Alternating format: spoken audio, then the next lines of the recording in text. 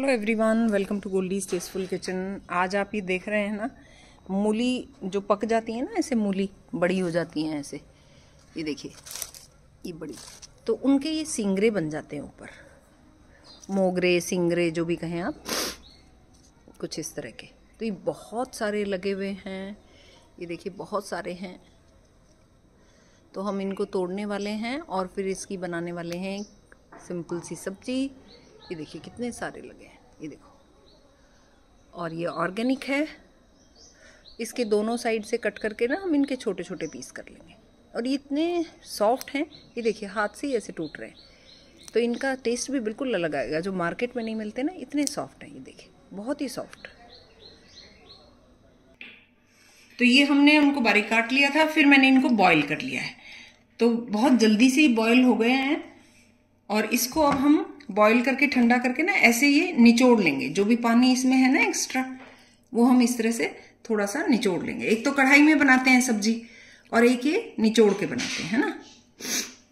तो ये मैंने ले लिए हैं सिंगरे, इनको ले, ऐसे निचोड़ लिया है। इसमें देखिए, पानी इनका कर लिया है ख़त्म, और आलू को मैंने उबाल लिया है। यहाँ मैं दिखाऊँ, आलू को भी मैं थोड़ा सा ऐसे हाथ से ही तोड़ूँगी। जो उबले हुए आलू है ना उनको मैं हाथ से ही तोड़ूँगी थोड़ा सा। देखिए। हाथ से तोड़ने के बाद ना इनको अगर ऐसे करेंगे तो ये एक अलग सा इसका मिक्सचर बनेगा। और इसका तड़का बनाते हैं। जितनी सब्ज़ी आपको चाहिए वैसे बना सकते हैं। कम आलू डालना है कम डालिए ज़्यादा डालना डा, ज़्यादा डाल सकते हैं। तो पहले हमें ये प्रिपरेशन करनी पड़ेगी फिर उसके बाद हम तड़का बनाएँगे।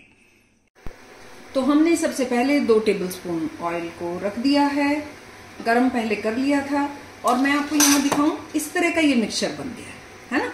अब मैं क्या करती हूँ, नमक में हमेशा ना मिक्सचर में ही डाल लेती हूँ, क्योंकि हाथ से आप इसको मिक्स कर सकते हैं। तो नमक आप स्वाद के अनुसार इस मिक्सचर में डालिए। तेल गरम हो गया है, इसमें डाल रहे हैं हम थोड़ा जीरा। जीरा तड़कने देते हैं। ये सब्ज़ी भी ना बहुत बहुत यम लगती है, बहुत ही ज़्यादा। तो आप ज़रूर बना के देखिए।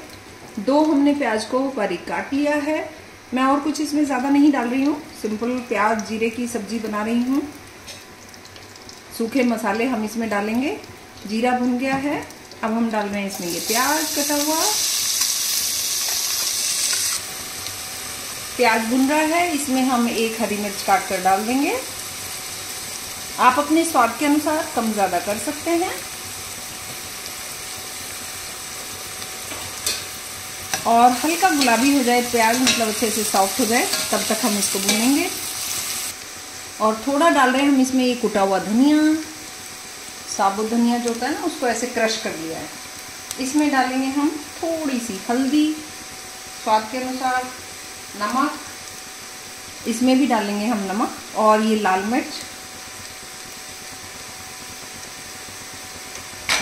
और इसको करेंगे मिक्स देखिए कितना अच्छा कलर कितनी अच्छी खुशबू आ रही है। और मसाले जले नहीं, गैस को बिल्कुल धीमा रखेंगे, प्याज हमारा भुन गया है। थोड़ा सा ऐसा ही प्याज अच्छा लगता है इसमें। और अब हम डालेंगे इसमें ये सारा मिश्रण। इसको अच्छे से ऐसे मिक्स करेंगे। बहुत ही यम खुशबू है। कोई ज़्यादा आपको ग्रेवी बनाने की ज़रूरत नहीं है। जब भी आपको सूखी सब्ज़ी ऐसे खानी हो तो आप खा सकते हैं। ये देखिए। थोड़ा सा मैं इसमें डालूँगी ये पिसा हुआ धनिया पाउडर। दो पिंच हम डालेंगे इसमें ये गरम मसाला और इसको अच्छे से भून लेंगे। और जो सूखी सब्ज़ी में मैं हमेशा डालती हूँ, वो है एक चम्मच घी। आजकल डॉक्टर्स भी कहते हैं कि आप घी ज़रूर लीजिए। ठीक है, घी में पकाइए मत, पर ऊपर से दाल में या सब्ज़ी में डाल के खा सकते हैं थोड़ा बहुत। तो ये इसकी खुशबू इतनी अच्छी आ रही है और मैं यहाँ बताऊँ, अगर आप टमाटर प्याज डाल देंगे ना, टमाटर ज़्यादा डाल देंगे सॉरी प्याज तो मैंने डाला है। तो एक ये जो सिंगरे का मीठापन है ना, वो खुशबू जो आती है कच्चेपन में, वो जो मीठापन है सब्ज़ी का तो वो बहुत बहुत अच्छा है। तो आपको पता चलेगा कि हाँ ये सिंगरे की सब्ज़ी है। तो आइए करते हैं प्लेटिंग थोड़ा सा हरा धनिया डालने के बाद। और ये देखिए, हमारी ये यम सी लगने वाली सब्ज़ी बिल्कुल तैयार है। ज़रूर ट्राई कीजिएगा इस सीज़न में. Thank you so much for watching my videos